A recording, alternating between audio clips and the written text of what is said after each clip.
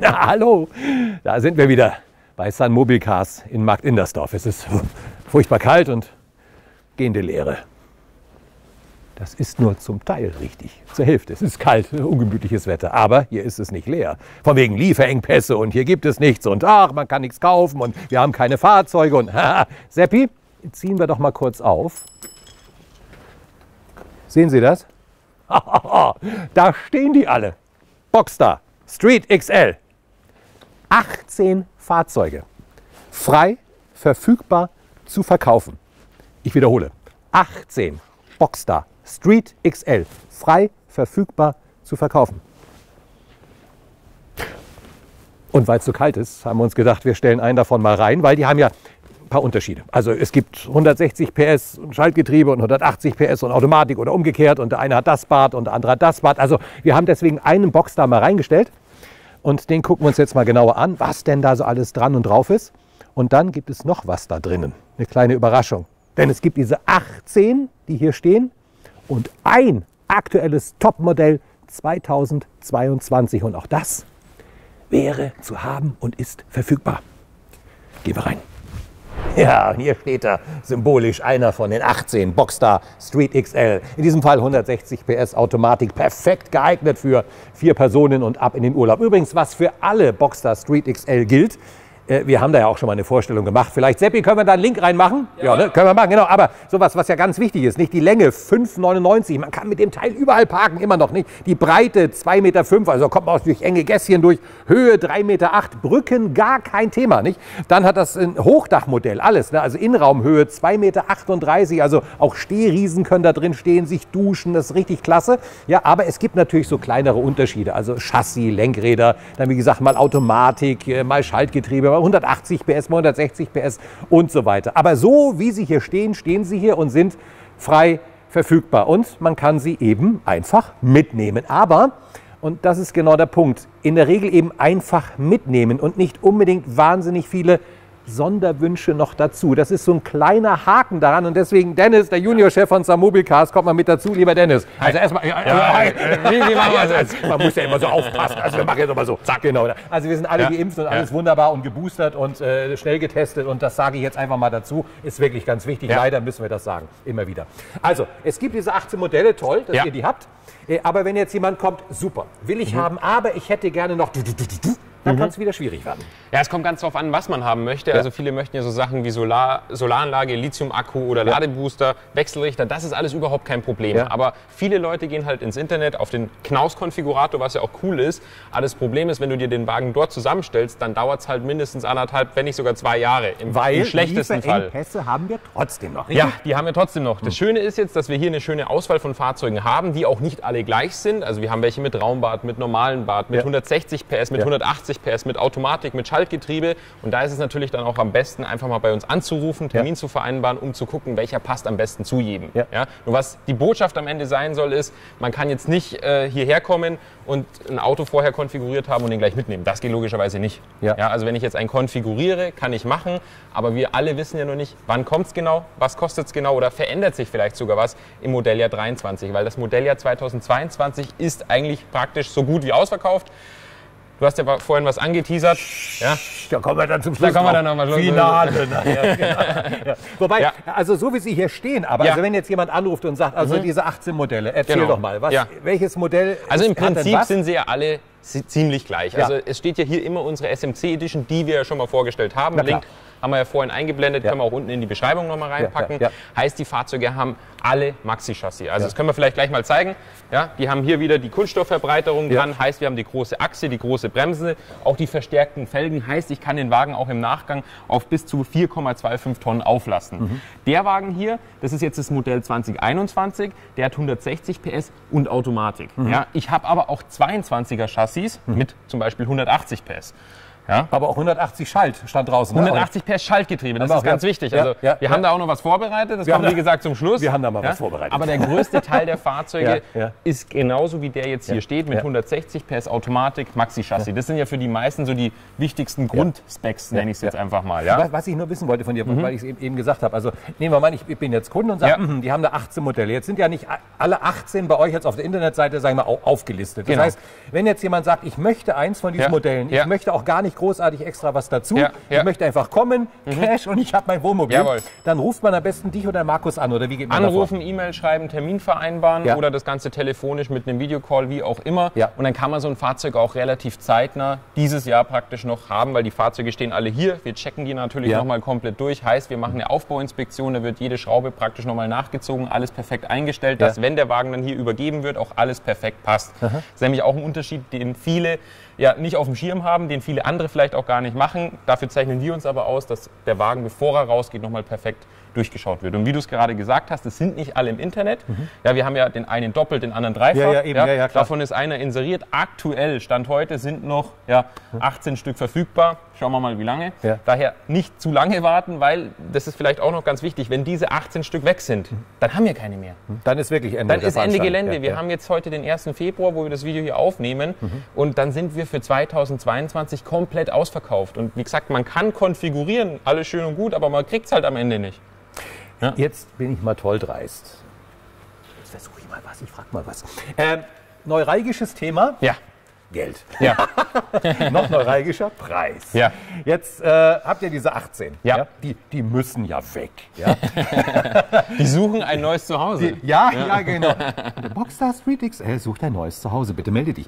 Aber ja, jetzt haben die ja normale Listenpreise. Dann Ja, gibt es ja. eben die Sun Mobile Cars, äh, Ja. Cars Edition, das Ja. ja. sowieso noch mal ein bisschen entgegenkommen und Ja. Ausstattung und so weiter.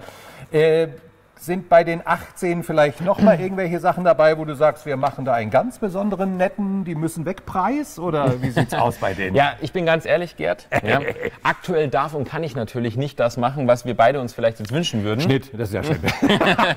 Aber ich sag's mal so, am Ende des Tages geht es ja darum, überhaupt ein Fahrzeug zu finden. Wenn Siehst du du? jetzt mal irgendwo anrufst bei einem anderen Knaushändler, die werden mit Sicherheit keine 18 Stück haben. Ja. Vielleicht einen, wenn überhaupt. Ja? Und das ist eben hier das Besondere bei dem Angebot, dass wir jetzt überhaupt einen anbieten können. Klar. Und das ist essentiell. Warum? Weil selbst wenn ich jetzt warte auf ein 23er Modell, das Angebot hier ist trotzdem günstiger, weil A steht es auf dem Hof. Ich wollte gerade sagen. Ja, und B sprechen wir hier vom 21er oder 22er Preis. Ja. Ja, alles andere kommt viel später und wird viel teurer. Ende vom Lied. Wir wollen natürlich jeden, der sich für so ein Fahrzeug interessiert, als Kunden in unserem Haus begrüßen dürfen Mhm. und auch gewinnen. Ja, und daher wären wir uns am Ende eigentlich auch immer einig. Na klar. Ja, weil es ist ja nicht jedes Fahrzeug so perfekt ausgestattet, wie sie, sich der Kunde jetzt wie du zum Beispiel vorstellst. Ja. Heißt, der eine will noch eine Solaranlage, eine Lithiumbatterie rein oder was weiß ich was. Und damit können wir am Ende spielen Mhm. Ja. und irgendwie einen Deal finden. Ja klar, weiß ich ja, deswegen sage ich Genau. ja. Ich weiß ja, Nee, nur, mit euch ich kann man möchte halt auch vorsichtig Ja, ja, sein, ja, weil manche stellen sich dann vor, ja, der kommt jetzt nochmal 10.000 Euro entgegen. Die Luft habe ich selber nicht. Ähm, Ihr kommt ja ohnehin entgegen, das weiß ich ja bei euren Editions. Also von Sowieso. daher ist, ist, gar ist gar keine Frage. Mir Ja. war nur wichtig, dass Sie wissen, dass ihr wisst, man kann mit den Jungs reden. Absolut. Und was ja auch toll ist, man kann sich ja jetzt dann auch Ja. so, so eine, ein, ein Fahrzeug von den 18 schnappen. Ja, und dann sagt man, wenn man schnell ist, dann sagt man all das, was ich jetzt vielleicht nicht einbauen kann. Ja. Wo ich sonst warten müsste und dann Ja. hätte ich gar kein Fahrzeug. Ja. Ich, jetzt nehme ich es mal so. Genau. Und dann warte ich mal und wenn diese Lieferengpässe Ja. wieder keine Engpässe sind, dann Ja. sage ich bei euch Bescheid und kommt dann vorbei. Das ist ein sehr guter Punkt. Ähm, ganz viele von den Kunden, die sich für so ein Fahrzeug interessieren und eine ganz konkrete Vorstellung haben, die Ja. gehen aktuell auch einen Kompromiss ein und sagen, hey, dann nehme ich lieber einen, der jetzt sofort verfügbar ist genau. und Ja. bestelle gleichzeitig Ja. mein Wunschfahrzeug. Ach Weil, so. Ja. Ach so. Weil bis der neue kommt, vergeht eh anderthalb Jahre. Äh, für die Zeit habe ich dann schon mal ein richtig cooles Auto, weil die sind ja auch super ausgestattet. Vielleicht so. nicht ganz so individuell, aber wir haben ganz viele Kunden, die sagen, hey, ganz ehrlich, Ja. dann bestelle ich halt jetzt schon mal, weil wir Ja. wissen eh noch nicht, wann es kommt, was Ja. es genau kostet. Das wird dann eh erst dann final gemacht, wenn klar ist, was es gibt, wann es kommt und was es kostet. Und bis dahin habe ich ein super Fahrzeug.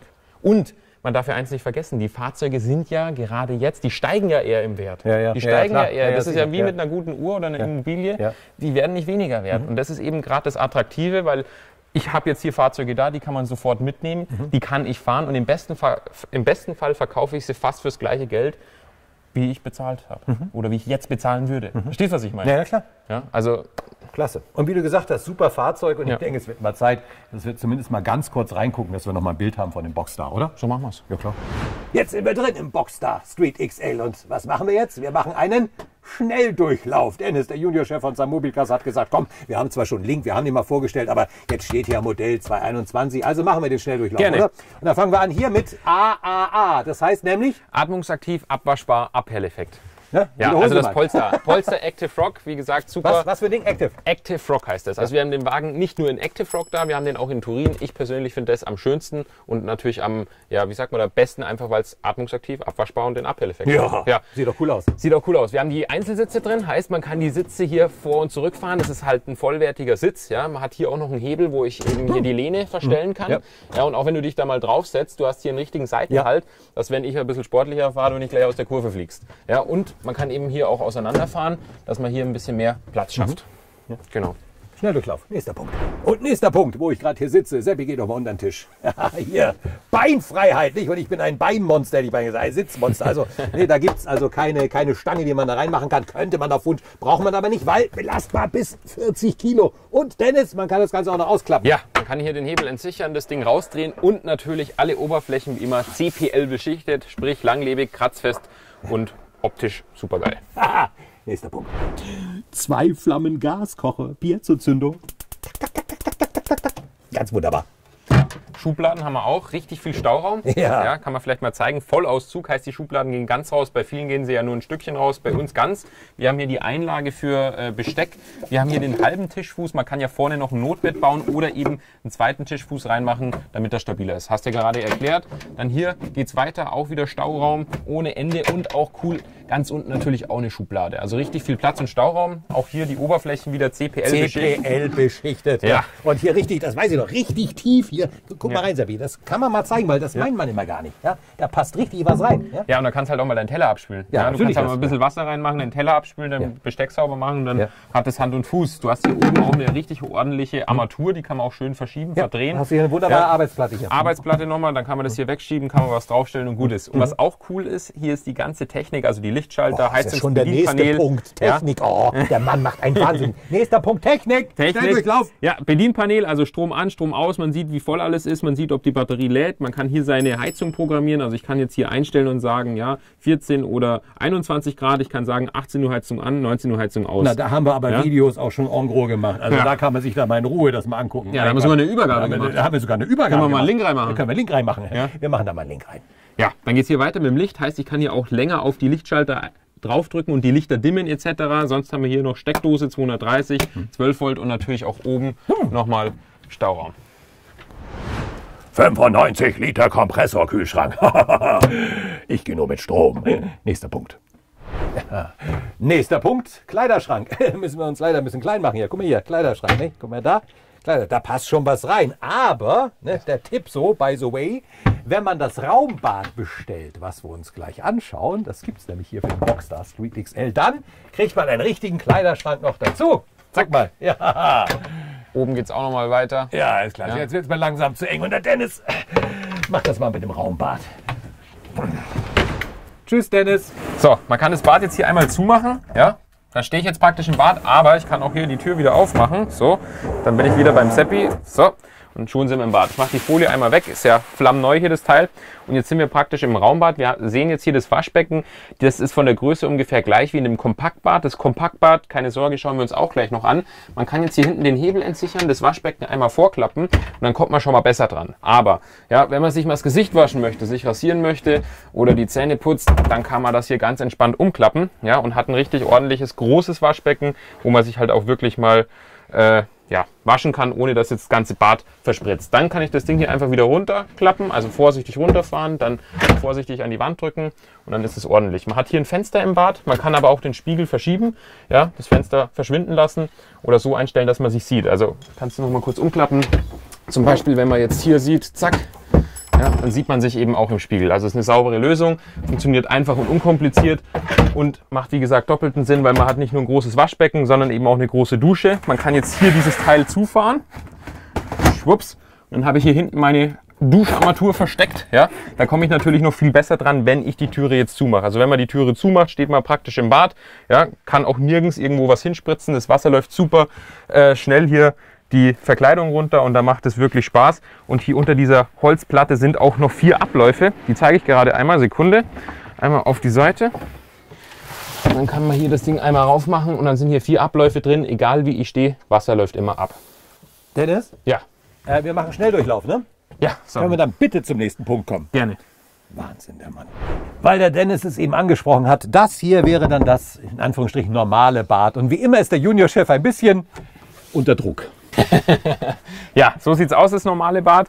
Ähm, zum Duschen in meinen Augen nicht wirklich geeignet. Man hat zwar hier einen Duschvorhang drin, hier ist auch so ein Radelschlauch drin, ja, den man praktisch mit Luft aufpumpen kann, damit es den Vorhang von meiner Haut wegdrückt und ja, der Vorhang nicht an mir klebt. Aber es ist auf jeden Fall nicht so geräumig wie im Raumbad. Ja. Toilette kann man natürlich auch verdrehen. Das Waschbecken, wie gesagt, ist ein Ticken kleiner. Also hier jetzt mit, mit dem Händewaschen wird schon ja, noch gehen, aber rasieren oder Zähne putzen ist schon eine kleine Herausforderung. Und dann kommen wir jetzt zum nächsten. Ja, und während Dennis da im normalen Bad noch mit dem einen oder anderen Detail kämpft, ist mir noch was aufgefallen. Im Unterschied zum Raumbad. Also wenn ich jetzt hier stehe, stehe ich eher so ein bisschen seitlich, genau. Und wenn ich dann an den Kühlschrank will, dann mache ich so. Und das ist dann schon ein bisschen, ja, schauen wir mal. Und dann hole ich mein Bierchen und da wieder zu. Also das geht schon, das ist schon okay. Ich übertreibe jetzt ein bisschen. Aber im Raumbad oder mit dem Raumbad ist das ein bisschen charmanter. Und im Raumbad stehe ich da so relativ gerade und fern der Heimat, Blick geradeaus. Ja, und dann kann ich hier wunderbar ran, aufmachen wieder zumachen. Apropos auf und zumachen. Jetzt nehmen wir doch mal an, wir sind zu viert, aber man will dann auch mal zu zweit sein. Und äh, tschüss dann, dann kann man nämlich hier auch noch abtrennen. ich komme, Liebling. Ja, das mit dem Liebling hat jetzt heute nicht so ganz geklappt, aber dafür ist der Dennis da. Ja. War mir klar, aber Dennis hat auch wichtige Informationen, also ein kuscheliges Bett, wenn Jawohl. man seine Liebste dabei hat. Evopor-Matratze drin, Ja. ja. sieben Zonen Kaltschaum. Ja, Bitte was? Sieben Zonen Kaltschaummatratze, Ja. Evopor, HRC, Ja. also wirklich was richtig Feines, Ja, ja, oben so wie unten. Und wir haben eine Liegelänge von 1,94, So. eine Breite von 1,45, also auch wirklich viel Platz auf 5,99 Gesamtlänge und eben ein Querbett. Ja. Und das Hubbett? Das Hubbett, ja, das hat 2,7 Meter Liegelänge, Ja. also muss man sich mal vorstellen, 2,7 Meter. Ja. Ja. also da passen wirklich richtig große Menschen auch Ja, rein. ja. Und breit ist es 1,30. Und wir können vielleicht gleich mal ein Bild einblenden, weil du hast sehr, sehr viel Raumhöhe auch Ja. in diesem Hubbett, einfach aufgrund der Fahrzeughöhe. Ja. vielleicht noch ein kleiner Teaser. Das ist ja der Boxster Street XL. Es gibt ja noch den Bruder oder die Schwester, den Lifetime. Ja. Haben wir auch schon Den mal ein Video gemacht. gemacht. Ja, klar. Ähm, da bekommen wir tatsächlich auch noch ein, zwei Fahrzeuge, allerdings erst August, September. Mhm. Ja, die hätten dann auch Längsbetten. Ja, Dafür ist vorne alles kleiner. Mhm. Also der, der sagt, cooles Auto, ich möchte aber einen mit Längsbetten, kein Problem, kriegen wir, muss mal noch ein bisschen Geduld haben. Also ich, bin ja auch so, so einer, der sagt, naja, kommen jetzt immer diese Werbesprüche und wir haben das schon so oft gesagt, aber dieser Boxster ist wirklich ein Raumwunder. Definitiv. Also es ist auch wirklich das beliebteste Kastenwagenmodell bei Ja, uns ja. seit ja, zwei, drei Jahren mittlerweile. Vorher war es immer der Boxster Solution, also der kleine Bruder praktisch, weil da gab es den XL einfach nur nicht. Ja. Ja. Nur hier mit dem XL, du hast einfach wirklich viel Raumhöhe, Raumgefühl und einfach mit 2,7 Meter sieben im Hubbett, also auch wenn meine Kinder mal größer werden, Ja. ja. habe ich halt da schon das ideale Zukunftsfahrzeug, weil viele mussten sich früher dann irgendwann immer ein zweites oder ein anderes Auto kaufen, weil das Bett einfach zu klein wurde. Ja, hast und das schon Kinder? habe ich hier nicht. Ja, noch nicht. Wir arbeiten dran. Hubbett. Und ein letzter Blick bei dem Boxstar 2021 im wahrsten Sinne des Wortes. Seppi, schwenk doch mal. Sieht cool aus, oder? Normale Scheinwerfer, aber LED, Tagfahrlicht. Ein wunderschön blinkender Blinker. Gut, das ist normal. Aber hier, das LED-Tagfahrlicht sieht natürlich klasse aus. Es geht aber noch besser. Und jetzt kommen wir zum Finale. Der Boxster Street XL. Ein Modell steht hier. Ein aktuelles 2022. Schnitt. Full LED Technology. Möge das Licht mit euch sein. Das Modell 2022. 160 PS. Automatik. Und das sieht auch drin ganz klasse aus. Der Dennis hat schon mal Platz genommen. Natürlich der Dennis, ich darf noch nicht.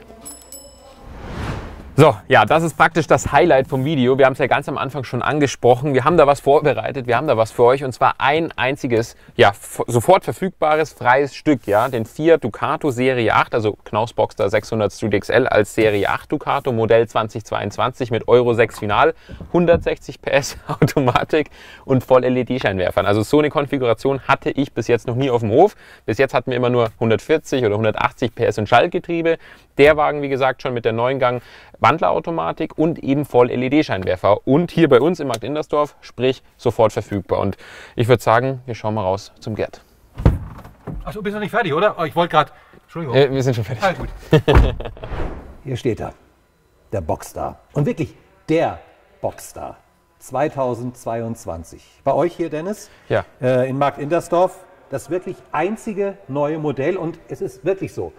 Gut möglich, dass deutschlandweit kein weiteres irgendwo steht. Also das ist wirklich außergewöhnlich, dass ihr überhaupt ein Modell hier stehen habt. Definitiv. Also wie gesagt, auch in dieser Konfiguration mit Ja. LED-Scheinwerfer, 160 PS Automatik, kriegen wir es so wahrscheinlich kein zweites Mal so schnell rein. Also wir wissen es ja selber nicht, wann Ja. was überhaupt mal kommt.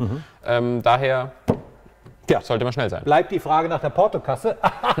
Was darf ich denn mitnehmen, um ihn dann mitnehmen zu können? Ja, es kommt natürlich am Ende immer so ein bisschen drauf an, was man noch dazu haben Klar, möchte. ja. Daher kann man es jetzt so pauschal nicht sagen. Aber wir haben ja nicht nur den, sondern wir haben ja auch 180 PS Schalter, wir haben 160 PS Ja. Automatik, Chassis 21. Ja, ja. Also da kommt es eben drauf an, welcher soll es jetzt konkret sein. Und wir bewegen uns da in der äh, Preisrange von 78.000 bis 86.000 Euro. Ähm, Je nach Konfiguration. Der hier kostet natürlich, wie gesagt, ein paar Euro mehr, logischerweise. Es ist auch unser einziges Stück. Eigentlich möchte ich ihn gar nicht hergeben, weil ich habe ja sonst auch nichts zum Zeigen. Aber wer schnell ist, ähm, kann den gerne haben. Und hier gibt es ja auch Finanzierungsmodelle. Das wollte ich an dieser Stelle auch mal gesagt haben. Ist ja nicht so, dass man hier mit dem Geldkoffer ankommen muss. Nee. Kann jeder machen, wie er möchte. Ähm, bieten wir natürlich auch alles an. 360 Grad, rundum sorglos. Also, liken, kommentieren, abonnieren, die Glocke nicht vergessen und Zuschlagen. Ja.